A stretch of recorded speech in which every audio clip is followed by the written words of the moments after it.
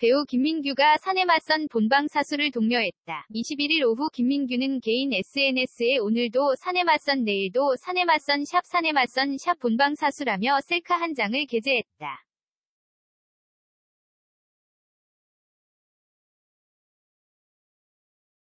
사진 속 김민규는 사내 맞선 촬영 중 차 안에서 카메라를 향해 V포즈를 취하고 있는 모습. 김민규는 베일 든 날카로운 턱선과 또렷한 이목구비를 자랑하며 여심을 저격했다.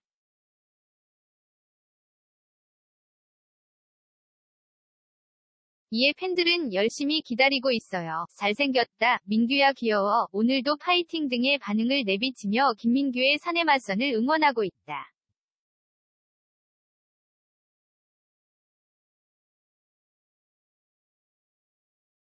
한편 김민규는 현재 SBS 사내 맞선에 출연 중이다.